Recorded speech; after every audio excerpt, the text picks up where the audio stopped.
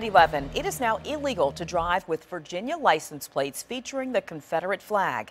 Drivers had until last week to swap them out for new ones without the flag. But some aren't letting them go and plan to defy the law. 10 of your side's Erin Kelly talked to one man who still has them on his vehicle. Erin? Kevin Collier of Suffolk is a commander of the Stonewall camp of the Sons of Confederate Veterans. He's not giving up his license plate, and according to the DMV, others aren't either. Your current license plates have been canceled and without my permission.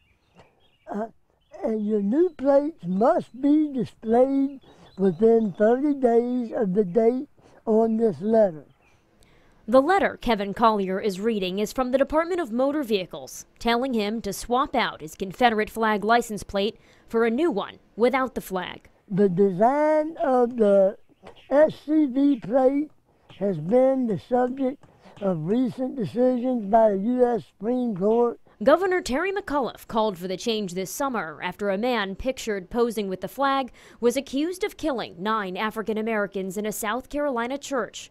Collier has missed the deadline to change plates and says he doesn't plan to.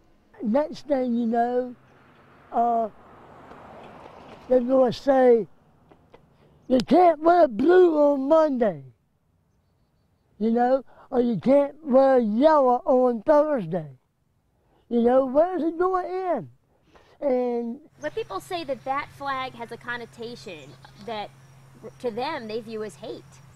Well, that's on the way you think about it. The Department of Motor Vehicles says of 1,600 people in Collier's situation, only 187 have returned the old plates. Some who didn't want the new ones sent them back, writing, no thank you. That means everything to me. That's my heritage. That's everything. That means that's who I am. Collier says his great great great grandfather fought with the Confederacy. You know, I can't fight on the battlefield like they did, but I can fight however I can in modern times, and I will not give them plates up. Now, the DMV says it attempted to work with the Sons of Confederate Veterans on the design of the new plate, but the organization didn't respond. The old plates became invalid on October 4th, and it's considered a misdemeanor to drive with them. Erin Kelly, 10 on your side.